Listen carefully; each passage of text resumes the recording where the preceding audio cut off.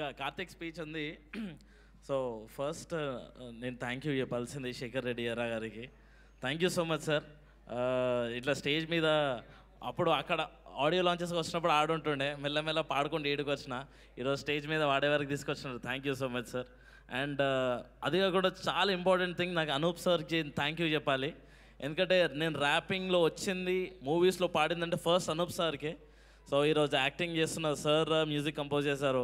Sir ఇంతమంది రాహుల్ సిప్లిగంజ్ కూడా first మీకు వాడి బిగ్ బాస్ వెళ్ళి నేను కూడా మీకు ఫస్ట్ వాడి బిగ్ బాస్కి వెళ్ళినా.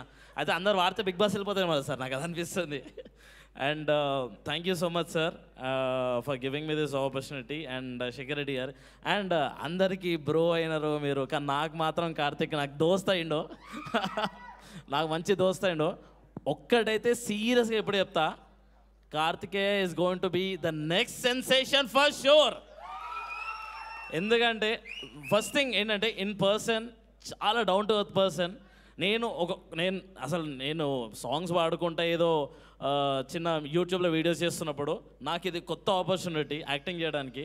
బట్ మా దోస్తోటి వర్క్ చేస్తున్నప్పుడు అసలు ఆ ఫ్లెక్సిబిలిటీ చాలా పక్క నుండి కూడా రోల్ రేడా నీకు ఎప్పుడైనా రీటేక్ చేయాలంటే చెప్పు నీ కోసం నేను చేస్తాను మళ్ళీ రీటేక్ అనేసి అంత ఎంకరేజ్ చేసిండో.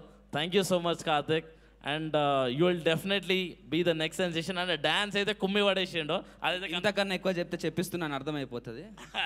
లేదు ఇది ఆనెస్ట్గా చెప్తున్నాం విషయము. And thank you so much sir thank you thank you thank you so much and ఇప్పుడు నైంటీ ఎంఎల్తో సూపర్ సక్సెస్ అందుకోబోతున్న